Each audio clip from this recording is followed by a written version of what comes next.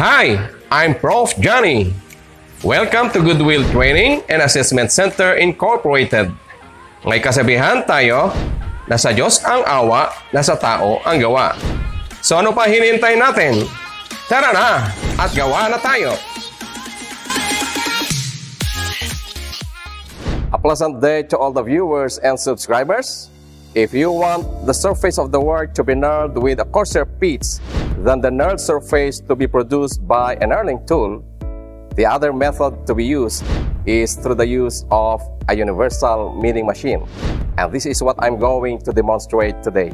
This method is the same as the method used in helical gear making, especially the calculation of indexing, pitch diameter, lead, and the gear ratio, or the change gears necessary to produce the required helix angle. I want to produce a diamond knurl with 40 degrees helix angle. The diameter of the workpiece is 65 millimeters. The number of each set of oppositely inclined teeth is 54, and the lead screw of the machine is 6. Before the gear ratio can be calculated, the pitch diameter and the lead must be known first. The pitch diameter is 62 millimeters and the lead is 234. So the gear ratio is 234 over 240. Now, in order to use the available change gears of the dividing head, I'm going to use a compound gearing method. So the gear ratio becomes gear on worm is 65 teeth, first gear on stud is 100 teeth, second gear on stud is 90 teeth, and gear on lead screw is 60 teeth. Here are now the change gears. On the worm shaft, 65 teeth, first stud, 100 teeth, second stud, 90 teeth, and the gear on the lead screw is 60 teeth, which is the driver, driven, driver, driven. There are two parts of the universal milling wherein the helix angle can be set, the table and the vertical head. Swiveling the table of the machine is more commonly used. This time, I want to use the other way, which is by swiveling the vertical head of the machine. I will now swing the vertical head of the machine to 40 degrees to the right or in a counterclockwise direction to produce the first set of teeth with a right hand helix.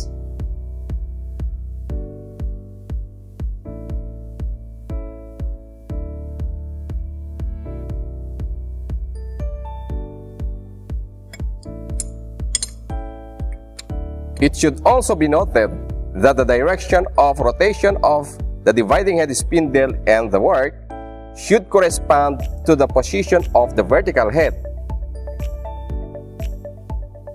Thus, it should rotate in a clockwise direction when the direction of feed starts from the right side to the left side end of the workpiece to produce a right hand helix angle. I will also use a double angle milling cutter. Let's start to cut the workpiece.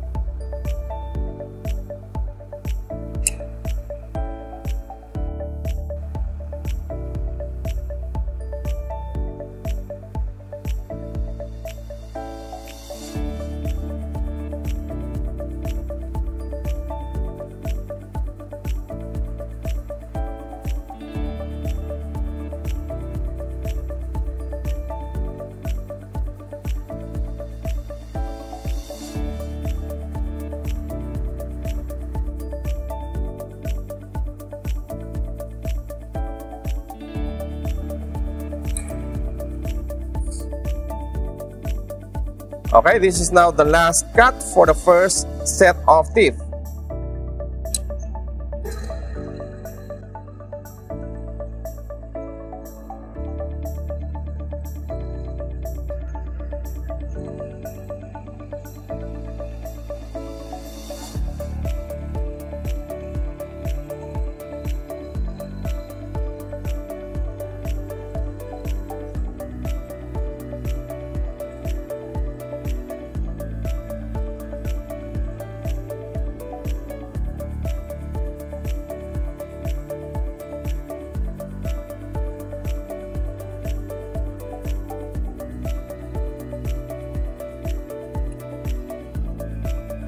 The first set of teeth with 40 degrees right hand helix angle is already cut.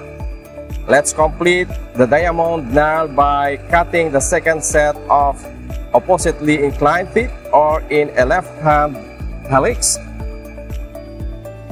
Take note, the vertical head of the machine will now be swiveled to the left or in a clockwise direction or it could be in the same position but I have to move the workpiece at the back of the cutter. And the direction of rotation of the workpiece is in a counterclockwise direction to produce a left-hand helix. And this would require an idler gear. Dito, lalagay natin ang idler gear dito.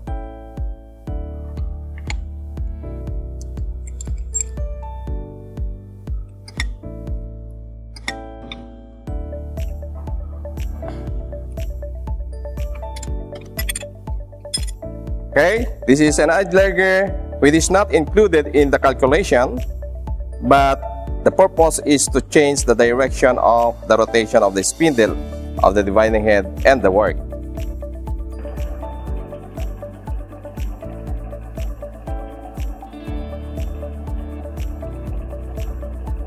Okay, sineset na natin ang depth of cut.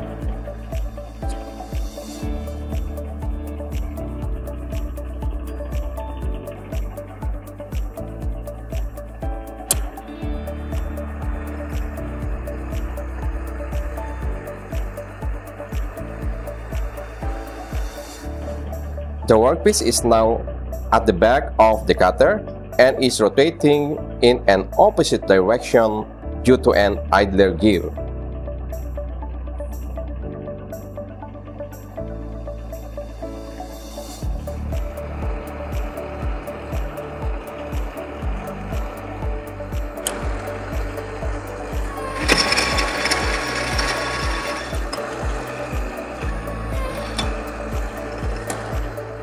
Index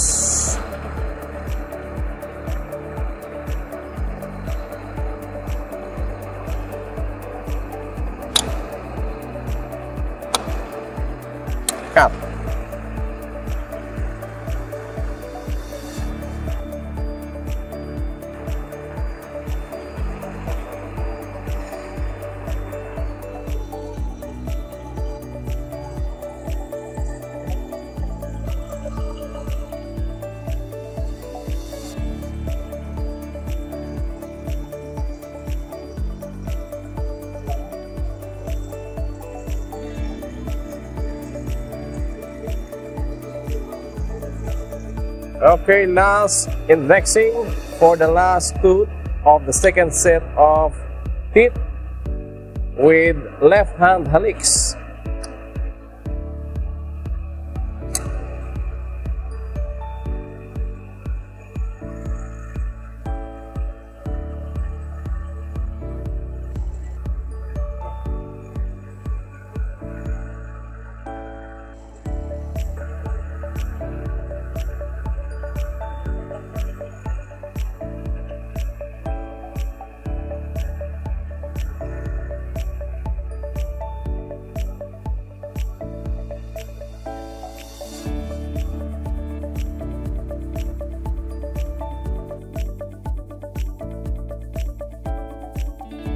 That's how we cut a coarser diamond knurl through the use of a universal milling machine.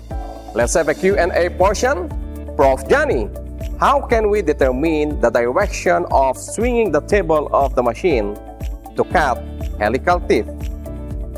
In order to determine the direction of swinging the table of the universal milling machine, we need to understand first the difference between a right-hand helix and left-hand helix.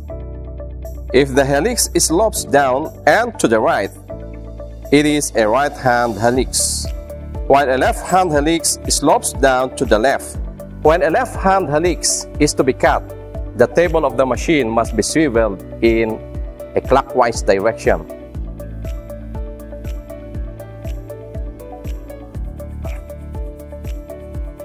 A right-hand helix may be produced similarly by moving the right end of the table in toward the column or by moving it in a counterclockwise direction. But if the vertical head of the machine is to be used, just like what I used, the vertical head must be swiveled in a counterclockwise direction to produce a right-hand helix. And the vertical head must be swiveled to the left or clockwise direction to produce a left-hand helix.